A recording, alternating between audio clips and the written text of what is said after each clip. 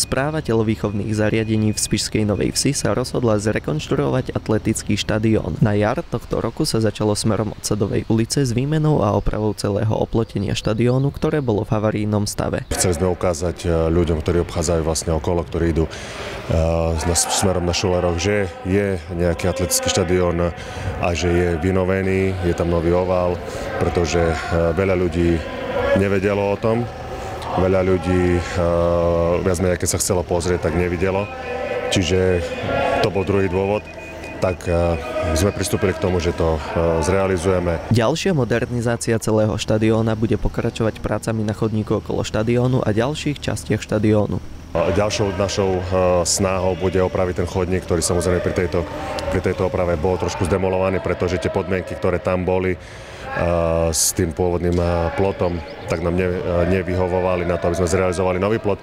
Postupne samozrejme chceme aj ostatné oplotenie modernizovať, je to otázka len financií, a, ale je to našim zámerom, aby sme, to, aby sme to pokračovali. Takto budeme pokračovať aj s ďalšími časťami na atletickom štadióne, aby sme tú samotnú stavbu nejak svoje pomocne dokončili.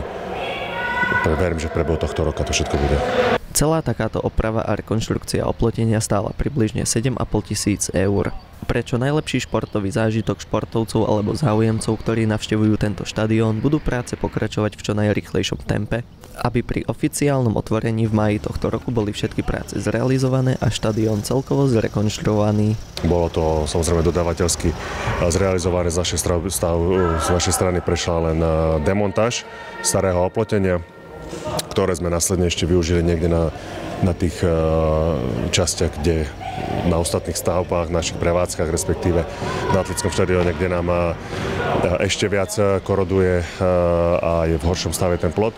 Viacero ľudí nám to chváli, že konečne vidia, čo je tam urobené, ako je to urobené a sú konečne rádi, že v podstate máme nový atletický štadión a vedia hlavne o tom a my aj vidíme, že ten tá, tá zmena, tá rekonštrukcia urobila veľa aj vo vnímaní ľudí, pretože je využívaný ten štadión, prídu si ľudia zabehať hoci ktorú hodinu, ten štadión momentálne je k dispozícii pre verejnosť, dá sa povedať v hociakej, v hociakej hodine, od tej 7. do, do 7. do 8. večera.